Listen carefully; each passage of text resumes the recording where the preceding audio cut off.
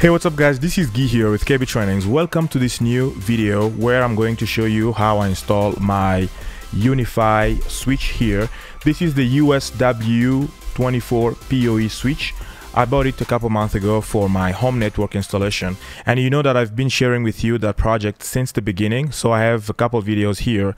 If you missed that you can go ahead and watch them. I have a playlist where I put all the videos. This is the actual design that I'm going to implement or that I'm implementing now.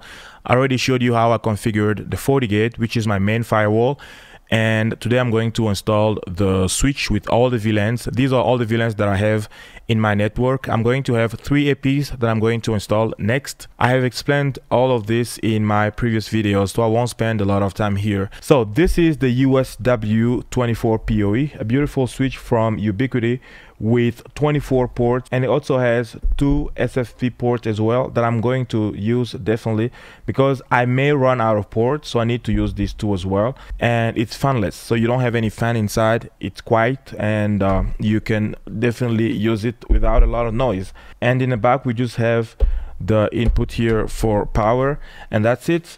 So we also have these ears for the rack and I'm going to show you how I install these as well and we have all the screws that come with the switch. In the last video I showed you how I installed the UniFi Cloud Key which is the main controller that's going to control my switch and the, the access points as well. By the way if you are here for the first time my name is Guy and I created KB Trainings to share with you these kind of projects. I'm an IT professional so if you like this kind of project and if you like tech in general please subscribe and like the video to encourage me to create more and if you want to start your career in the IT I have a course on kbtrainings.com I mean for the CCNA which brings you from zero to engineer and help you get a job or advance in your career. Okay, there's also this small one here. This is the USW Flex Mini. It's beautiful. It's just good. You have USB-C here in the front for uh, for power, and on the back you can also power it with PoE using this port here. So I like it so much that I bought like four of them. I have four of them right here I use it pretty much everywhere throughout the house and it's very handy and very helpful. Next, I'm going to power on this device and we're going to see what's happening. So now I'm plugging this ethernet cable in a port 1 because for now all the ports should be in the same VLAN which is the VLAN 1. And then I'm going to plug in the power on the back of the switch.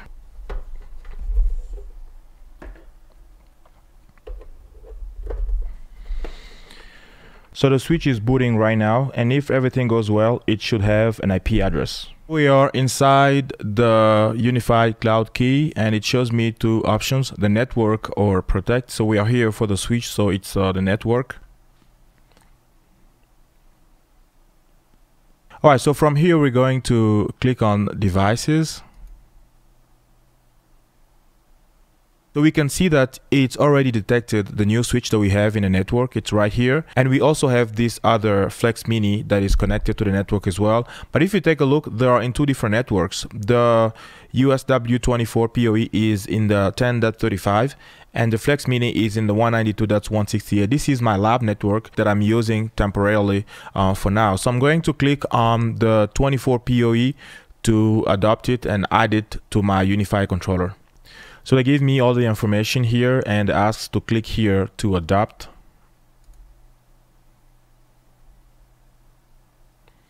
Adapting, provisioning, uh, configurations are being pushed. All right, here we have the view of the switch and it says connected. So it's fully adopted by my um, UniFi controller. All right, so now I'm going to get the switch ready to be attached to the rack. I'm going to um, to attach the, the ears and then we will put it in place. All right, so now as you can see, I'm in the process of attaching the switch to the rack. It took me a moment just to make sure that everything is attached properly and clean.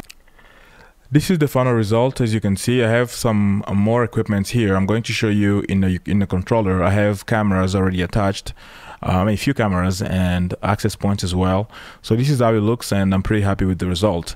So now let's um, explore the UniFi controller and uh, some configurations on the switch. So this is the main page. As you can see, I don't have any um, UniFi firewall. So that's why I don't have uh, these two here. No internet capacity or no gateway because I use the Fortinet for firewall.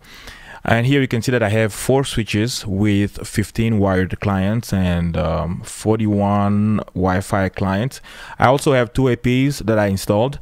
Um, I'm going to show you in the next video how I did it. So I have a total of four APs. I decided to put another AP in a garage. So I have four, I will have four APs um, total and uh, yeah so this is all the details on Wi-Fi. We're going to see it in the next video.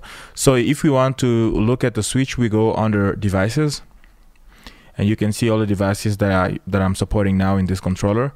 And I click on main switch which is the switch that we installed. So this is few days later. And as you can see the switch has been up for um, eight days. So I have some more devices that are um, that are already added to the network. Uh, here we have the layout of all the ports and these are the two SFP ports that are currently being used as uplink ports going to the FortiGate and we have all the information about the switch here. We have the uplink port which is um, detecting only 25 but 26 as well is an uplink port. Uh, we also have the downlinks. These are the APs and the different switches that are um, downlinked to this device and when I go on, on, the client I see the wired client um, including cameras and so on. Actually I have let me show you I have uh, four cameras that are currently installed. In the next video I'm going to talk about the UniFi Protect and I'm going to show you uh, all the cameras that I have. I might have a total of maybe 12 or 15 cameras at the end of this project. So that's for the next video uh, or one of the next videos all right, so here on the ports, you can see all the different uh, 26 ports that we have. And on the PoE, the ports that are delivering PoE, you can see the wattage or the consumption of the device that is connected to these uh, to these ports.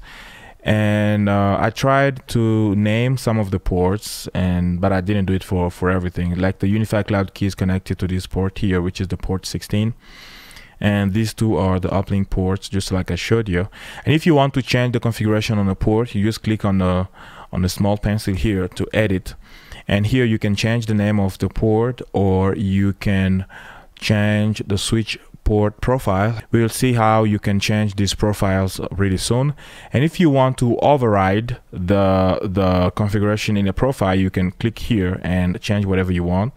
And here is for the MAC filtering. For now I'm not doing it but I'll have to set it up as, as soon as this uh, this project is completed.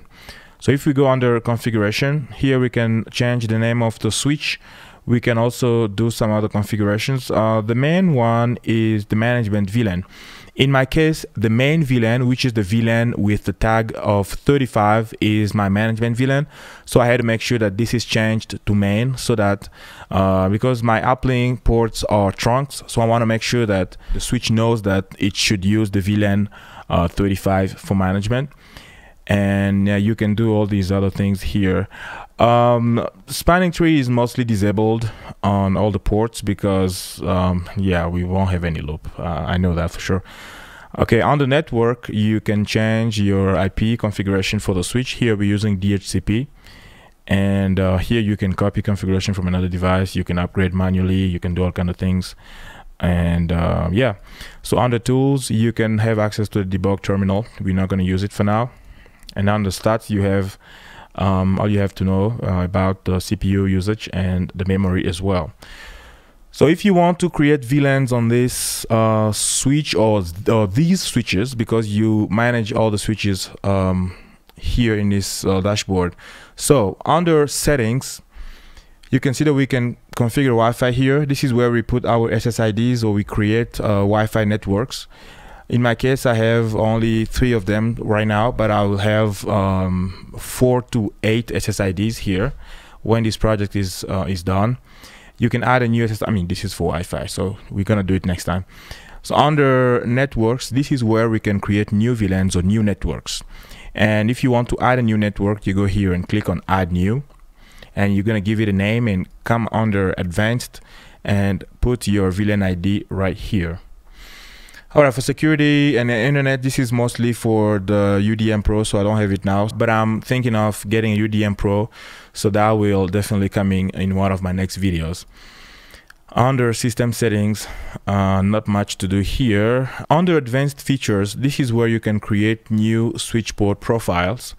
And in my case, for example, I have these different profiles The all is the default one that comes with the device. The all means that it's a trunk. If you click on the view, you can see here. Um, so it's a trunk, and the native VLAN is the network untagged, which doesn't have any any tag on it, or the VLAN one.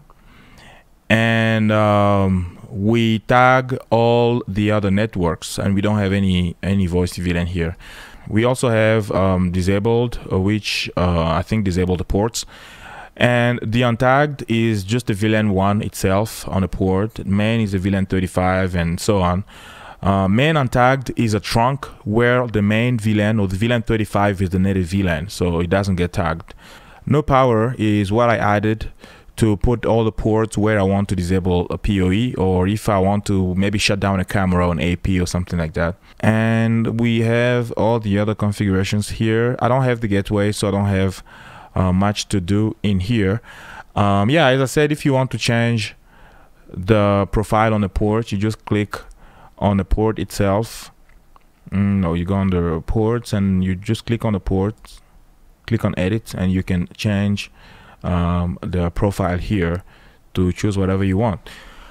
All right, that's all for today, guys. And if you have any question, leave it in a comment or send me an email. I'll be glad to respond.